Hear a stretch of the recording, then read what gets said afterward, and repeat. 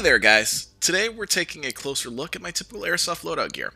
Since I mostly attend shorter skirmish style games, my goal with this type of kit was to keep everything very minimal and lightweight to improve my overall playing style and efficiency.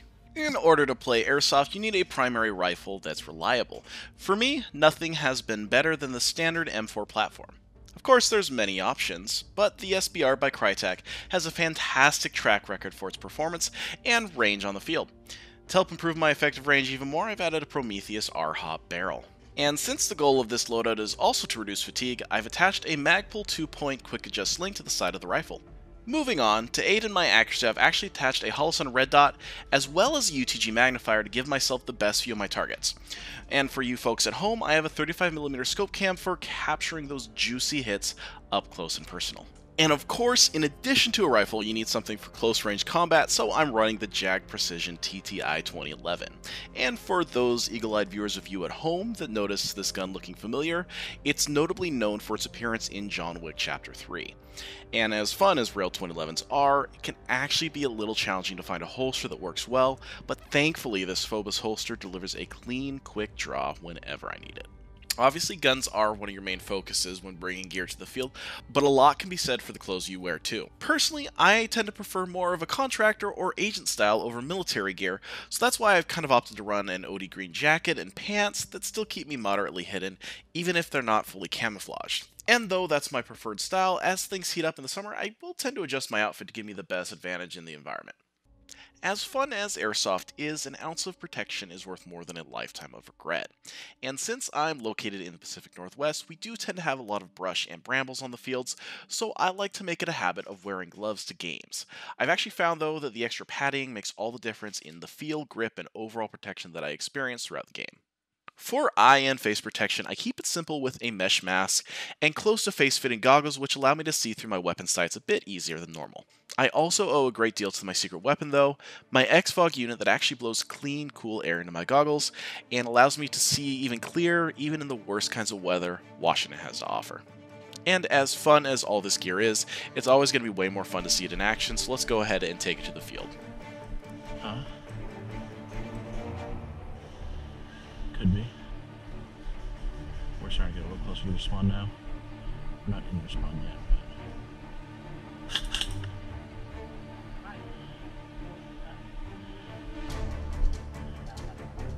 Yep. Pull back. There. Let's bound up, see if we can take out enemies right here. So, me and an ally find ourselves deep behind enemy lines, and my R-Hop inner barrel proves to be crucial in getting this player here to finally call his hit.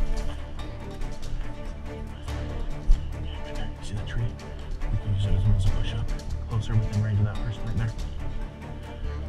What do you think? We should take him out?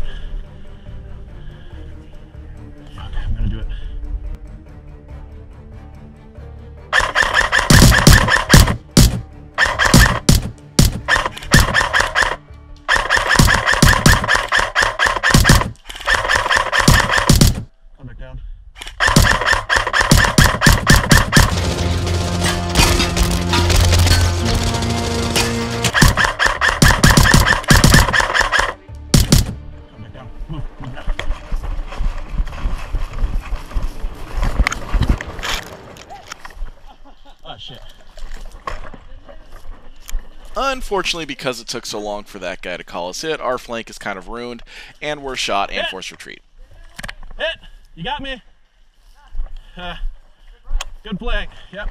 The battle's not over yet, though, and there's still plenty of time to make sure the enemy team hurts for taking ground on us.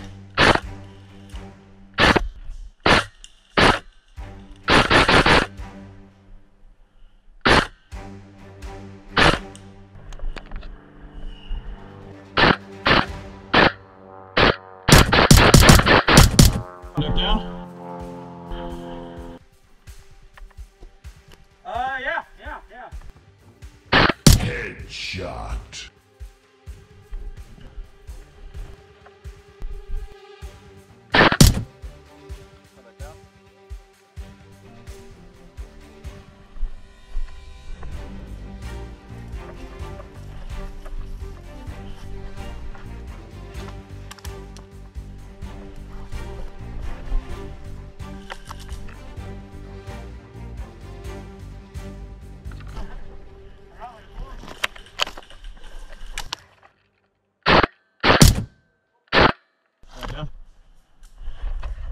Oh yeah, you're dead. Bad guy. Good shot.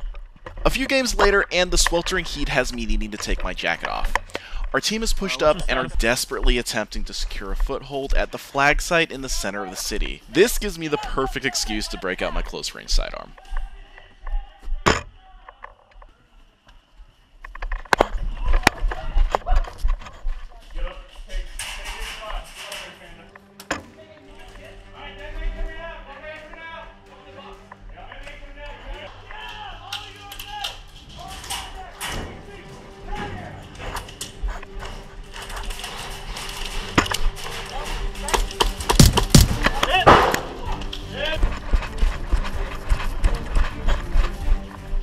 Inside?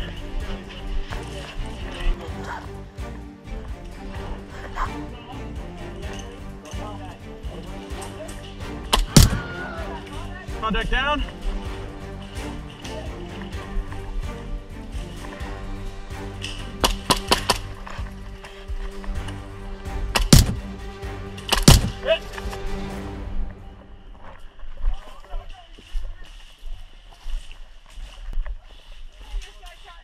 No, I'm just hearing a lot of spraying coming from. Him.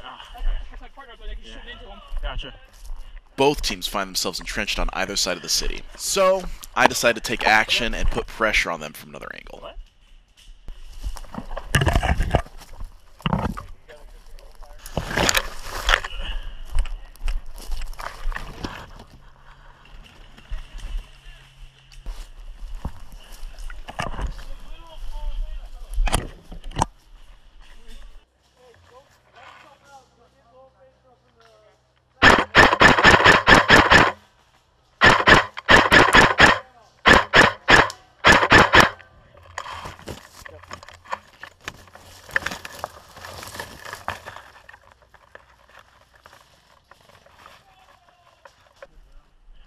Okay. Hold down. Get one right there. Try and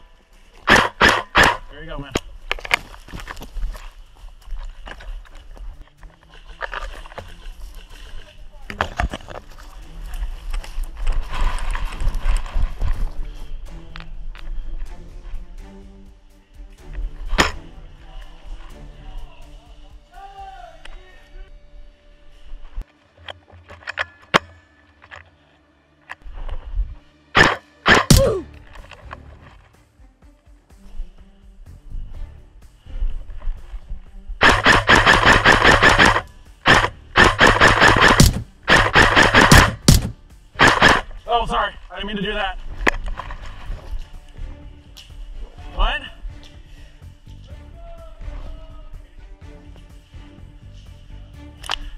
Yeah, me good. With points scored for both teams, the battle for the city finally comes to a close, I attempt one final gamble that pays off in, well, quite frankly, a pretty cool way.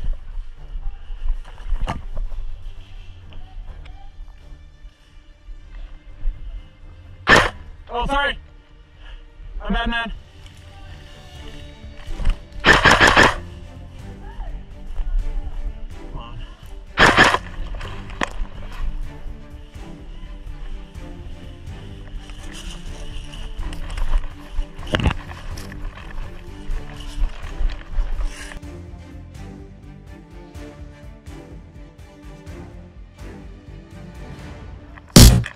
Yo, bro, grenade.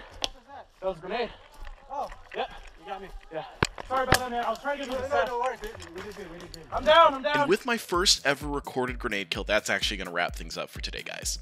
I got a closer look at that TTI Combat Master coming up for you, as well as some really fun and exciting gameplay from South Sound that you're not going to want to miss, so stay tuned. And as always, have a great day, don't be a cheater, and that's all, folks.